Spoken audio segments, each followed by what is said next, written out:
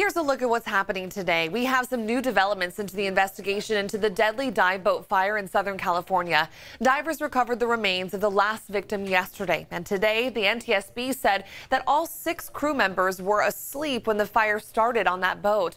One person is supposed to be on watch at all times. And the Coast Guard also released new safety recommendations in the aftermath, like limiting the amount of time something is charging unsupervised. The FBI, the Coast Guard, also the U.S. Attorney's Office in Los Angeles are working on a criminal investigation of this deadly accident.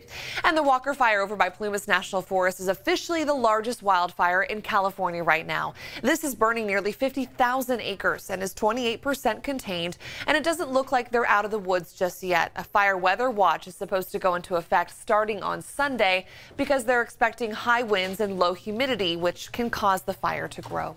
And Governor Newsom signed SB 230 into law today. This law will finance new training and require police departments to update their policies on use of force to comply with AB 392, which was signed into law last month. SB 230 is the companion bill to AB 392, which regulates when police can use deadly force. Now that Governor Newsom signed both those bills, departments will have to change their training guidelines to add more emphasis on de-escalation strategies.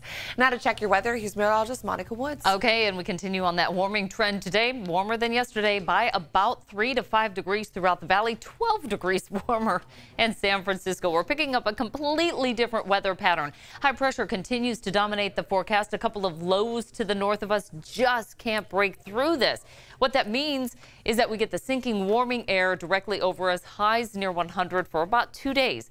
But then big changes. I mean, we are all over the map here on the 10-day planner. Check this out. We've got mostly sunny skies, highs near 100 Friday and Saturday. It is such a quick change then. Sunday dropping into the 80s. Monday, slight chance of showers. We're at that turning point in the year that we start to see just a slight chance of those showers coming through. So we'll be watching that. We're right back to the mild weather then as we head into the next work week. Now you're all caught up on what's happening today.